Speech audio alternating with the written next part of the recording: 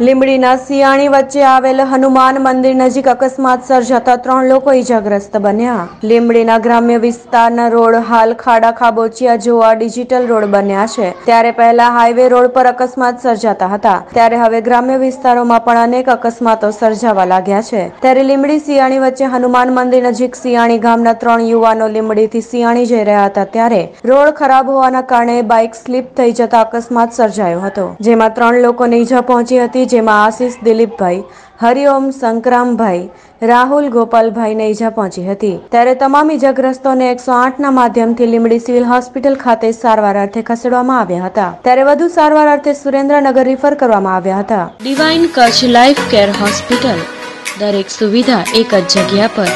Neurology urology sonography, X ray, laboratory pharmacies તેમજ ચોવીસ by સાત ડોક્ટર તો હાજર જ.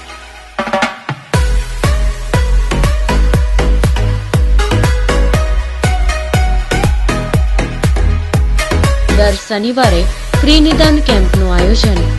આજે જ મુલાકાત લો divine Kutch life care super specialist હોસ્પિટલની